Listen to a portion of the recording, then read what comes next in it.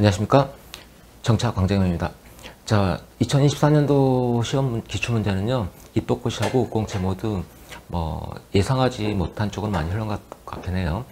특히 입법고시 경우는 어, 중위투표 정리하고 그 다음에 이제 인지공동체에 대한 문제가 출제되면서 수험생들에게 좀 어, 낯선 주제일 수도 있겠는데요. 중위투표 정리는 이제 기본적인 내용에다가 조금 더 들어간 것 어, 그런 맥락에서 이해할 수 있겠고요. 첫 번째 문제는 어, 국회하고 대통령 간의 관계인데 대통령제에 갖는 수평적 책임성, 그 다음에 입법 생산성 이렇게 엮어서 물어봤어요. 어, 일단 정치 제도 쪽에서 나온 것 일단 뭐 예상했겠지만 뭐 입법고시의 경우 국회와 관련된 것 주제가 일단 자주 나왔기 때문에 어, 낯선 뭐죠 돌발적인 형태로 나올 수 있다는 걸 감안하더라도 어, 다만 이제 기본적인 내용에다가 좀 여러 가지 좀 고민할 내용이 있었기 때문에 이제 그런 부분을 감안한다면 그리고 상대평가라는 걸 감안한다면 어, 일단 어, 크게 어, 스트레스 받을 필요는 없을 것 같아요. 자 그럼 문제 보도록 하겠습니다. 첫 번째 문제인데요. 대통제 집권여당이 다수석을 차지하는가의 단점, 분점 정부를 물어봤어요. 그 다음에 오도넬 수익적 책임성과 수평적 책임성을 일단 깔아놓은 상태에서 정책 책임성을 설명하고 대통령제 단점을 일단 단점에 포커스 맞춰놨네요. 수평적 책임성의 기준에서 자 이 중에서 수익 수평 중에 수평 책임성의 맥락에서 서술하라고 일단 잡아놨네요. 두 번째 입백 생산성 관점에서 분점 정도 단점 정도 차이가 있는지 여부를 논하고 대한국회하고 대통령의 상호 견제를 위한 헌법적 제도에 대한 설명하셔. 그냥 설명으로 끝냈네요. 일단 논점을 확인해 보도록 하겠습니다. 어, 기본 전제가 민주주의와 정책 책임성의 문제인데 자, 대의제 민주주의 정당성의 조건이 대표성과 책임성이라는 걸 일단 당연히 알고 계실 거고 시민권의 법적 보장을 전제로 하는 이야기죠. 그러면 대의민주주의는 주권자인 시민이 일단 의회, 선거를 통해서 의회를 구성합니다. 이 과정은 자 입법권에 대한 위임이라고 볼 수 있겠고요. 자, 의회에서 결정이 내려지면 또 입법을 하면 집행부에 집행권이 위임되고요. 산출이 나오겠죠. 다음번 선거 때 이 산출 자체에 대해서 회고적 투표를 통해서 입법부의 책임 묻는 형태가 기본적으로 대의제 책임 관리 메커니즘이라고 표현하는 것. 그러면 정책 책임성은 일단 이 맥락에서 보시면 돼요. 그러면 그래서 몇 가지 주의할 게 있는데 행정에서 책임성 개념이 좀 공부할 때 어렵게 느껴지는데 행정학의 관점에서는 자 행정 책임입니다. 행정 책임입니다. 대의제에서는 입법부가 정한 법을 그대로 집행할 책임이 여기는 관련이 있는 거죠. 책임이란 개념 자체가 뭐 영어로 duty, obligation, liability, 뭐 accountability, responsiveness, responsibility 등등 다양한 책임이 있어요. 우리말로는 수식을 붙여주는 거죠. 그러면 이 법을 준수할 책임, accountment를 준수할 책임, 이거는 회계 규정인데 앵글로삭슨 계열에서는 이게 일반적인 법 코드, 법 규정으로 해석을 해요. 그래서 법을 준수할 책임이라는 맥락에서 이야기가 됐어요. 행정국가로 가면서 문제가 생기죠. 자, 어, 행정 업무에 또한 이런 국정 운영에 필요한 어, 기술적 복잡성과 전문성이 높아지면서 입법부가 모든 것들을 잡아줄 수 없잖아요. 그래서 위임입법과 입법과 재량이 확산되죠.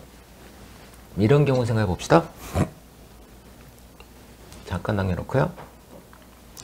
여기 의사가 있고요. 환자가 있습니다. 환자가 내 병이 이거니까 약 좀 처방해 달라고 합니다. 근데 의사는 전문가죠. 전문가로서 환자의 상황을 진단해야 돼요. 또 환자의 상황과 요구를 파악해야 돼요. 그리고 전문가로서 당신은 몸 상태가 이거니까 그 약 먹으면 안 된다고 이야기하겠죠? 자, 내 요구대로 해주세요. 이게 리스판시브니스예요. 반응성, 대응성이라고 표현하는, 응답성을 표현하는. 그런데 환자의 상을 본 다음에 전문가로서 판단하겠죠. 그래서 전문 직업 관료로서 그래서 어, 전문 직업 윤리, 직업 윤리로서 책임이 이야기되는데 두 가지가 있네요. 자, 다시 말하면 자, 일단 시민의 요구에 대해서 그대로 대답할 리스판스할 책임이 행정의 정책 책임입니다. 근데 전문 직업 관리로서 경제 상황을 보고 기획재정부 장관은 자 경제 전문가로서 판단해야 되겠죠. 일단 시민의 사항과 요구를 들은 다음에 자율성이 필요합니다. 그래서 이런 책임을 전문 직업 책임을 responsibility라고 불러요. 행위 세 가지 책임 이야기하는데 요거는 반응성은 포퓰리즘 우려가 있기 때문에 행정학 교수는 별로 안 좋아요. 그래서 두 가지 책임을 중심으로 이야기를 합니다. 우리가 보는 시험은 행정학이 아니라 정치학이죠. 초점이 여기에 맞춰지는 거죠. 이 전체. 전체. 그러면 자 대의민주주의 책임이라고 했을 때 다시 와서 본다면 여기서 자 시민의 요구가 투입되고 시민의 의사와 입법부사가 합치된다고 본다면 집행부는 그대로 집행할 책임이 있는 거죠. 관리들은 영혼을 가지면 안 돼요. 이게 베버의 관점이기도 했었고 자 그러면 여기 산출 나오면 법대로 집행이 됐다 칩시다. 그렇다면 다음번 선거 때 너 내려와 라고 하는 걸로 책임성을 확보할 수 있겠죠. 그래서 정책에서 보는 정책 책임은 바로 이 자체를 말해요. 행정이 말하는 정책 책임 반응성에 초점 맞춘다면 일단 시민의사하고 입법부사가 합치되기 위해서 요구된 조건이 바로 대표성이고요. 대표성이 확보됐다 해서 책임성이 나온 건 아니죠. 그래서 정책 책임은 자 공약을 그대로 이행했는지를 가지고 판단하게 됩니다. 궁극적으로 책임은 선거를 통해서 확보되는 거죠. 근데 루소는 영국인들은 4년에 하루만 자랐다고 말했어요.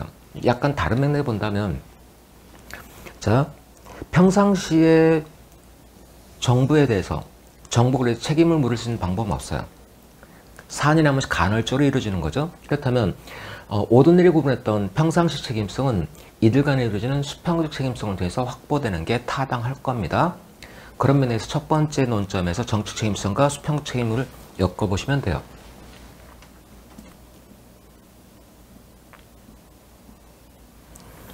자, 그래서 정책 책임성은 행정에서는 이렇게 봤는데 어, 정책에서는 일반적으로 accountability라고 보통 써요. 법적 책임 좁은 의미가 된다면 광의의 넓은 정책 책임은 이렇게 보통 표현하고 있어요. 그리고 이 책임은 이렇게 확보되는 거죠. 참고로 대표성은 전망적 투표를 통해 확보되는데 만약에 전망적 투표를 한다. 면 당선된 다음에 엘리트들은 시민 요구에 반응할 필요가 없어지겠죠. 따라서 유권자들이 전망적 투표 행태가 일반적인 경우 이게 작동 안 되기 때문에 책임자 작동 안 되기 때문에 광범위한 자율성을 누린다. 한국 국회의원들의 행동을 보면 이해가 되실 것 같아요. 예컨대 갑자기 더민주당의 이재명 대표가 금투세 폐지에 대해서 철회해버렸죠. 어, 금투세 폐지에 대해서 지지 쪽으로 바꿔버렸죠. 그리고 저 어, 평소에 안 그럴 것 같은 더민주당 의원들도 쉴드 치고 있는데요. 그래도 찍어줄 거니까 라는 맥락이 되겠죠. 어쨌든 자, 이 맥락에서 정치 책임성을 강조한다는 거 알아두시고 그리고 이런 책임은 수익적 책임성이라는 것 알아두시고요. 근데 문제에서는 약간 복잡한 게 있어요. 자, 수익적 책임과 수평적 책임 나눴을 때 개념은 아실 거라 볼게요. 수평 책임 국가 권력 기관 상호간의 견제에서 확보됩니다. 자, 개념으로 본다면 의원 낙제는 권력 융합 원칙이고요. 그 다음에 자, 의회에서 다수파가 내각을 구성하죠. 대통령제는 의회가 있고 집행부장 대통령 직선으로 선출합니다. 이쪽만 직선인데 이것도 직선이죠. 그렇다고 대통령제가 수직적 책임성이 높냐? 우리가 앞에 왔던 그런 의미의 책임성을 본다면 높지는 않습니다. 일단. 그리고 대신 대통령제는 견제 균형 원리 권력 분리 원칙이죠. 따라서 수평적 책임성이 높다라고 일단 이야기를 해요. 개념상으로는 그래요. 개념상으로는 그래요. 근데 자 문제가 있습니다. 자 평상시에 견제균형 대통령의 권한이 남용되고 있다. 제어가 안 되고 있다. 탄핵에 의하지 탄핵에 의하지 않고서 다음번 선거가 될 때까지는 끌어내릴 방법이 없어요. 다시 말하면 대통령제는 견제균형을 통해서 수평적 힘을 높일 수 있으나 현실에서는 이게 작동이 안 된다는 이야기죠. 반대로 의원학제는 자 수상이 자 일반 대중의 의사와 합치되지 않는 일방주의로 갔을 때 내각 불심을 통해서 바로 이 권력을 소거해버리겠죠. 그래서 현실적으로 본다면 의원 내각제가 수평적 책임성이 높다라고 말할 수 있어요. 그래 본다면 수익적, 수평적 책임성 모두 의원 내각제가 높다라는 결론이 나올 수 있겠네요. 그래서 유럽인들은 미국의 헌법을 비민주 헌법이라고 이야기했었고 미국은 헌법에도 불구하고 민주주의가 어쨌든 유지되고 있네라는 평가를 내렸던 게 그런 맥락입니다. 자 일단 하나 여기다 고려가 들어갔네요. 다음 자 설문위는 입법 생산성을 물어보고 있어요. 자 이 논점은 여기 있었던 거고 요거죠. 그럼 설문위에서 묻는 입법 생산성을 어떻게 해석해야 될 건지를 결정해 줘야 돼요. 개념상으로 일단 어, 제한된 입법안이 본회에서 가결될 통과될 확률이 높으면 생산성이 높다라고 말할 수 있겠고 반대로 가결率이 낮으면 생산성이 낮다라고 말할 수 있겠죠. 그러면 한국의 입법 생산성은 낮다라는 게 한국인들의 일반적인 통념이죠. 근데 이래 봅시다. 이 맥락에 본다면 상호 견제를 통한 수평 책임성 위해서는 정부가 제출한 입법안의 국회 가결률이 낮아야 됩니다. 그리고 예산 삭감률은 높아야 돼요. 그렇죠? 근데 그렇다면 입법 생산성 높은 게 꼭 좋은 거냐고 물어봤을 때 그렇지 않다는 얘기거든요. 오히려 저 권위 시기하고 90년대까지 2000년 초반까지 한국의 경우 국회를 통법부다 거수국회다 집행부 대통령 제안한 법률안이 그냥 그대로 거수기 통과시켜주는 통법부라고 봤었어요. 이거는 얘가 작동 안 된다는 거죠. 그래서 이걸 물어봤을 때 이게 높은 게 좋으냐 낮은 게 좋으냐 설문 일과 삶을 본다면 높은 게 꼭 좋은 것 같진 않은데 라는 생각이 들어요. 근데 자 2010년대 넘 2010년대 이후에 모든 언론이 정권이 끝날 때쯤 하면요 한국의 입법 생산성이 무지 낮다라는 걸로 온통 도배가 되거든요. 그러면 과거 90% 내외에서 얘가 어, 70%대로 떨어졌어요. 많이 떨어지진 않았네요. 근데 미국은요, 0.04 정도, 0.01도 안 돼요. 미국 입법 생산성이 무지, 무지, 무지, 무지 낮은데 한국은 왜 그러지? 다시 말하면, 어, 출제자가 무슨 생각으로 설문위를 내는, 집어넣는지를 이해할 수 없다는 생각이 약간 들었어요. 그럼 맞춰줘야지 뭐. 라는 생각이 드는 거죠. 어쨌든, 근데 MB 정부하고 그다음 윤석열 정부의 경우는 이게 40%대로 떨어졌어요. 문재인 정부는 70%대였고 다시 올라갔다가 다시 떨어집니다. 문재인 정부 때 다시 떨어집니다. 그러면 얘가 높다고 좋은 거냐, 낮다고 나쁜 거냐, 또 높다고 나쁜 거냐 알 수 없어요. 어떤 맥락에서 질문했는지 따라서 완전히 달라지니까. 근데 이 떨어졌던 이유가 뭐냐면 일방주의적, 일방주의적, 불통이라고 말하죠. 이런 것들이 이걸 떨어뜨린 요소가 됩니다. 이거 말고 자 의원 입법 있죠. 정부 제출법 말고 의원들이 제출한 법안의 입법 통과율은 어, 40%대입니다. 훨씬 낮아요. 얘보다도 낮아요. 평균. 근데 자 문재인 정부 때 36 정도 나왔다가 윤석열 정부는 35 정도 나옵니다. 민주주의 최저라 그러는데 이거는 왜 그랬을까? 정권 문제가 아니라 의원 입법의 가결이 낮은 것은 어, 사실상 입법안이 뭐 컨트롤 C, 컨트롤 V라 그러죠. 자꾸 하나 수정하는 걸로 계속 법안 올립니다. 그리고 이걸 통해서 나는 열심히 일했다.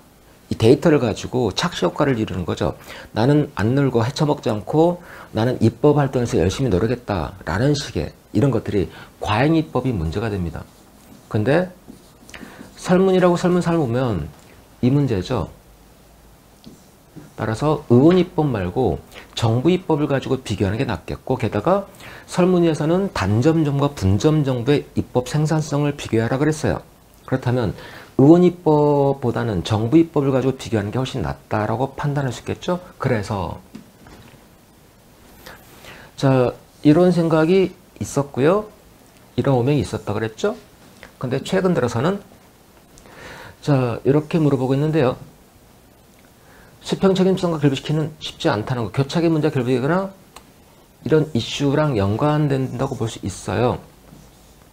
입법 생산성이 낮은 게 문제라고 한다면 이런 거 아니냐. 그러니까 머리가 좀 아팠죠? 그래서 그냥 이렇게 봅시다. 무관하게 그냥 작성하고 가는 게 편하겠다라고 일단 결론 내렸어요. 자, 답안 목차 작성하기 전에 이 논점 간의 관계를 분석하셔야지 어, 흐름이 일관성을 갖게 됩니다. 그리고 여기에 맞춰서 서론을 잡아야 되겠죠? 그러면 설문일은 요걸 물어봤고요. 설문일은 이걸 물어봤어요. 단점 분점화해서 그 다음에 얘랑 연결될 수 있는 게 설문 3이 되는 거죠. 이 위치가 애매해진다는 이야기죠.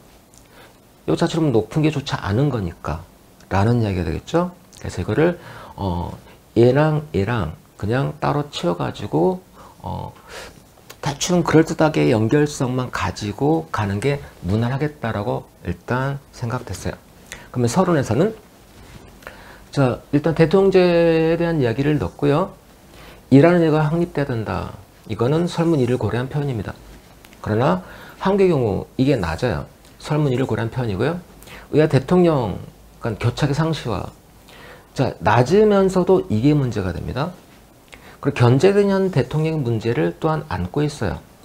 자, 이 표현은 설문 1, 3을 고려한 표현이 들어갑니다. 예컨대 입법 생, 어, 정부 입법 가결률 기준으로 여러분이 검색해서 해보면요. 입법 가결률의 경우는 어떤 기준 쓸 거냐. 전체냐, 정부 입법이냐, 의원 입법이냐에 따라서 데이터가 어, 볼 때, 오, 왜 다르지? 같은 애인데? 이게 들쭉날쭉한 게 기준을 잘 보셔야 돼요. 그 다음에 수정 대안까지 포함할 거냐 말 거냐에 따라 또 달라집니다. 그래서 기준이 달라진다는 것. 어쨌든 또 현 정부의 경우는 거부권 남발하고 있죠. 그렇다면 자, 이 부분을 가지고 서론을 잡는 것도 가능한데 그냥 설문 1, 2, 3을 고려해서 문장을 잡는 게 잡는 게 낫다고 판단이 이렇게 잡았고요. 뭘쓸 건지에 따라서 세 번째 문단을 결정하시면 돼요. 그래서 어, 서론을 짧게만 쓰려고 하는데 나는 왜 출제인지 안다는 걸 보여줘야 되거든요. 그래서 충분한 내용이 들어갈 수 있도록 하셔야 돼요. 최소한 40점짜리라면 13줄 정도는 채워주셔야 됩니다. 제 1문 한 줄 띄고 서론 하면 3줄이 잡아먹히죠. 최소한 10줄이 나왔는 것, 3줄, 4줄, 3줄 정도가 적당하다 보시면 돼요. 그래서 이렇게 서론 잡았고요. 자, 정책임성입니다. 크게 본다면 대통령제의와 제적 특징을 먼저 잡고 그 속에서 이렇게 개념을 설명하라고 했으니까 설명해야 되겠죠? 그 다음에 그 중에서도 이 두 개 나눠서 수평 책임성을 기준으로 단점을 부과시켜달라고 했어요. 그래서 주목자를 세 개로 잡았습니다. 그러면 첫 번째 목차에서는 대충 이런 것들이 들어가면 되겠죠? 그 다음에 자 이런 문제 가 이슈가 되고 있고 대통령 가장 큰 문제는 이건데 또한 동시에 캐사리즘 소위 재앙적 태동제 문제가 계속 이야기되고 있죠. 자, 정책 힘성에 대한 설명을 아까 해드렸던 것 쭉 잡아줍니다. 오도넬 중심으로 일단 두 개까지 설명해 줘야겠죠. 그래야지 3번으로 연결되니까 바로 가지 않고 해 거쳐 간다는 거죠. 자, 대통령제의 경우는 어떻게 되느냐. 의원 내각제는 그 다음에 권력 분리본칙에 따른 이걸 제도안정부 형태라고 말할 수 있겠다. 근데 역설적으로 내가 독주하는 경우 내각 불신임을 통해서 바로 요걸 물어볼 수 있어요. 반면 이원적 정당성, 익션, 임기보장이죠. 자, 이게 없어요. 이것도 없어요. 따라서 상대 취약할 수밖에 없겠다. 라고 요게 핵심 내용이 되겠죠. 자, 구체적으로 본다면 이런 식으로 설명하면 돼요. 해설이 자세히 나와 있으니까 제가 따로 읽어드리진 않을게요. 두 번째로 넘어갑니다. 입법 생산성. 일단 개념을 잡아줘야 되겠죠? 이해해서 분석할 때 어떤 의미로 쓸 건지 일단 개념을 조작적으로 정의해 주고요. 그 다음에 단점, 분점에 따른 입법 생산성에 대한 이야기를 해줘야 되겠죠? 그 다음에 일단 소교를 따로 잡았어요. 다음 이야기를 연결시키기 위해서일 수도 있겠고요. 종합적으로 자 어떻게 판단되는지 한국은 어떻게 되는지 혹은 얘기가 높은 어, 어, 단점 분점에 따라 어떻게 될 건지 그러면 일단 이렇게 입법 상승 잡았고요. 일반적으로 본다면 효율성 자체 행정에서 배우셨죠. 집권이 효율성이 높고 분권이 효율성이 낮습니다. 관리 효율성을 말해요. 따라서 체제 효율성은 권력이 쪼개지거나 비트 포인트가 많을수록 생산성, 효율성은 떨어집니다. 그럼 단점정보, 분점정보 논리적으로 본다면 어떻게 될까요? 분점은 쪼개지는 거죠. 입법부가 일단 비토글 때 혹은 입법부가 통과한 법을 대통령이 비토글 때 따라서 자 이거 중심으로 살펴보고자 한다. 참고로 이 부분 나왔다면 분점의 경우 입법 생산성이 당연히 낮다라는 게 논리적으로는 논리적 결론이 그렇게 나오겠죠. 그러면 이걸 깔아놓고서 자 이야기 따라서 대통령제는 떨어집니다. 같으면서 분점 정부는 단점보다 떨어집니다. 특히 자 정파 간의 이슈가 충돌될 때 더욱 낮아집니다. 예컨대 행정학에서 요즘에는 강의에서 이야기 안 하는 것 같아요. 2014년도에 sequestration이 발동되면서 연방정부가 3, 주 동안 셧다운된 경우가 있었어요. 어, 극단적 형태의 교착을 보여준 사례. 그래서 어, 대의제에서 대의민주에서 제도 기능 부전 상태, 민주적 제도의 기능 부전 상태라고 평가하는 사건도 있었죠. 그 다음에 그런데 이런 주장이 있죠.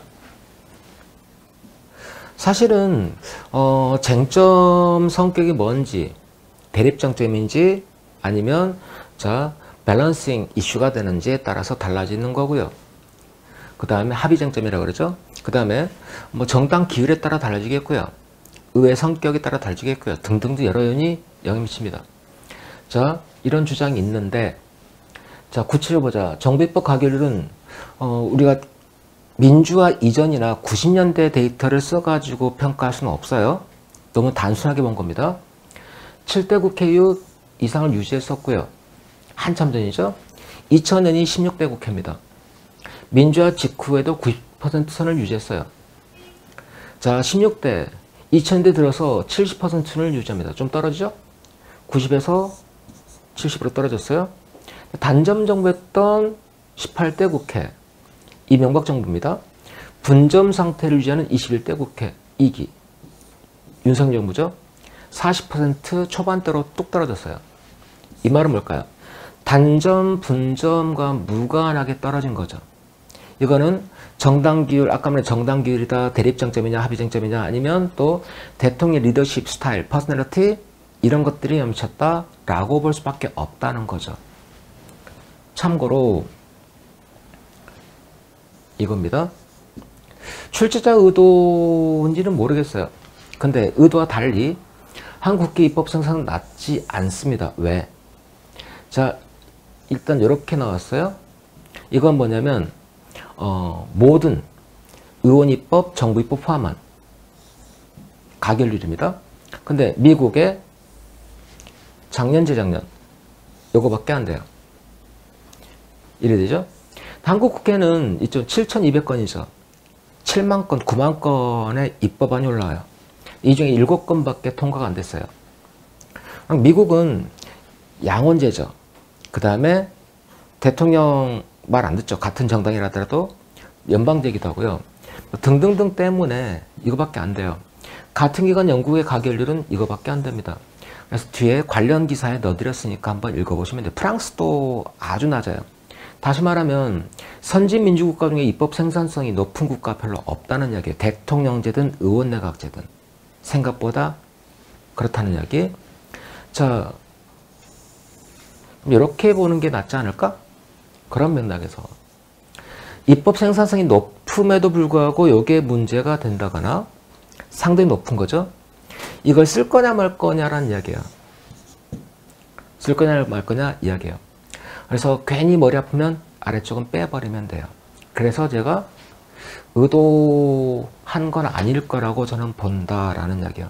아무 생각 없이 낸 논점이라고 보여집니다. 낮으니까 교착이 문제되지 라고 묻고 싶었던 것 같아요. 혹은 높으니까 국회가 견제를 안 하는 거지. 그러니까 견제를 위한 제도를 어떻게 할 건지에 대한 질문을 하고 싶었을지도 모릅니다. 근데 데이터를 놓고 본다면 어, 이걸 언급해 준다면 어, 다른 이야기도 가능한 거죠. 그래서 어, 출제자가 뭔 생각하고 있는지 모르겠다가 마지막 답안 작 어, 예시 답안 작성하면서 드는 생각이었어요. 상공 현재 제도인데 헌법상 일단 1차 시험에서 헌법이 있었죠. 그래서 기본적인 내용을 알 겁니다. 대통령의 권한, 그리고 의회에 대한 권한을 추가하시고 국회 권한, 국회 권한 대통령에 대한 일단 견제를 위한 권한을 위로 쭉 잡아주시면 돼요. 헌법상 권한을 보면요. 이런 것들이 있어요. 그리고 여기에 대한 견제를 위한 제도들이죠. 여기에 대한 견제를 위한 제도들이에요. 그리고 자 거기에 대해서 대통령은 이렇게 가는 거죠. 이것만 쓰면은 답안지 분량이 크지 않기 때문에 언급해주고 이 깔려 있을 때 각각 각각 이렇게 묶어서 그래서 법률랑 예산안 일반적인 정부 국정운영 그 다음에 외교에 관한 이야기들 외교 국방 안보에 관한 이야기들 그 다음에 이제 행정 운영 임명권 그 다음에 이렇게 일단 네 개로 묶어봤어요. 어, 제가 임의로 묶는 거기 때문에 헌법에선 약간 달리 구분하긴 할 겁니다. 그래서 이 내용은 여러분이 어, 깔끔하게 정리만 해주시면 되겠고 이걸 깔고 가는 게 훨씬 더 깔끔하겠다 이렇게 가고 이렇게 연결시켜 가지고 그럼 결론 쓸까요? 라는 거예요. 그래서 저 같으면 이쪽으로 끌어낼 것 같긴 한데요. 교착 요거? 요거? 큰 질문은 요건데 가장 크게. 그 다음에 전반적으로 1, 3, 또 2 보면 요 맥락에서 낸 것 같긴 한데 낸 것 같긴 한데 그렇다고 하자니 몰라. 그러면 요걸 깔고서 이 두 개를 가지고 결론 쓰는 것 그에 맞춰 서론 마지막 문장 잡는 것 다 가능합니다. 그래서 그날 어, 여러분이 어떤 생각에 피리 꽂히는지에 따라 달라질 것 같긴 한데요. 이걸 깔고서 요걸 쓰거나 요렇게 가거나 하고 잡으시면 될 것 같아요. 자, 그 다음에 두 번째 이야기를 이렇게 잡았을 때 그럼 이렇게 가겠죠? 이렇게 한 줄, 한 개, 이렇게. 자, 설문 1에서 봤듯이 하면서 가면 돼요. 왜 그런가? 제적 측면과 자, 이런 게 필요하지 않을까? MB 정부하고 그 다음에 윤석열 정부의 정부 입법 가결이 무지 낮았던 이유는 뭘까요? 바로 이게 부족하기 때문이라는 걸로 마지막 결론 내리는 거. 왜? 제도적으로 본다면 문제가 크게는 없어요. 크게 없어요. 따라서 제도 자체보다는 이게 더 중요하겠다. 아니면 정당 기율로 맞춰주셔도 상관없어요. 근데 동일한 정당 기율에서 좀 다르게 나오기 때문에 이걸로 마지막에 잡아봤어요. 특히 설득의 정치는 많이 들어보셨을 겁니다. 어, 사르토리, 지오바는 사르토리가 말했던, 강조했던 거죠. 혹은 사르토리 뭐세 가, 대통제 안정화 조건 세 가지를 가지고 잡는 것도 가능해요. 이상 1문에 대한 설명 마쳤고요. 다음 시간에는 어, 2문 살펴보도록 하겠습니다.